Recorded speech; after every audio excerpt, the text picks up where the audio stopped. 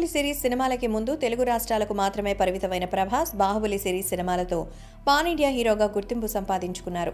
ఆ గుర్తింపు వల్లే ప్రభాస్ గత సినిమా సాహోకు డిజాస్టర్ స్టాక్ వచ్చిన భారీ స్థాయిలో కలెక్షన్ సంపాదించుకుంది. సాహో సినిమా తర్వాత ప్రభాస్ రాధేశ్యామ్ సినిమాలో నటించగా ఈ ఏడాది రాధేశ్యామ్ సినిమా విడుదల కానుంది. ప్రభాస్ ప్రస్తుతం సలార్ ఆదిపురుష్ సినిమా షూటింగ్లో పాల్గొంటున్నారు. ప్రభాస్ నాగ్ అశ్విన్ కాంబినేషన్లో తెరకెక్కుతున్న సినిమా షూటింగ్ కూడా ఈ ఏడాదే ప్రారంభం కానుంది. అయితే ప్రభాస్ రాధేశ్యామ్ సినిమాకు బిజినెస్ అనుకున్న స్థాయిలో జరగడం లేదని సాహో సినిమా నష్టాలు మిగిల్చిన నేపథ్యంలో నిర్మాతలు ఆశించిన స్థాయిలో రేట్లు డిస్ట్రిబ్యూటర్స్ ఇవ్వడం లేదని ప్రచారం జరుగుతోంది.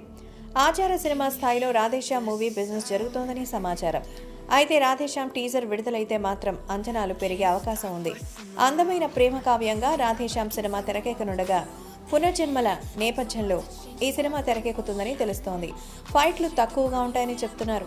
ఒక పాట ప్రభాస్ కృష్ణరాజ్ మధ్య కొన్ని సన్నివేశాల షూటింగ్ ఇంకా పెండింగ్ ఉందని తెలుస్తోంది. ఈ ఏడాది ఏప్రిల్ నెలలో ఈ సినిమా విడుదల కానున్నట్టు ప్రచారం జరుగుతుండగా ఆ ప్రచారంలో నిజానిజాలు తెలియాల్సింది. ప్రభాస్ పూజా హెగ్డే కాంబినేషన్లో తెరకెక్కుతున్న ఈ సినిమా ఎలాంటి ఫలితం అందుకుంటుందో చూడాల్సింది. జిల్ ఫ్రేమ్ రాధాకృష్ణ ఈ సినిమాకి దర్శకత్వం వహిస్తున్నారు.